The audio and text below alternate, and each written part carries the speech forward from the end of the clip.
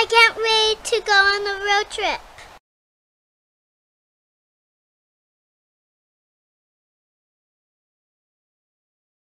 On a road trip.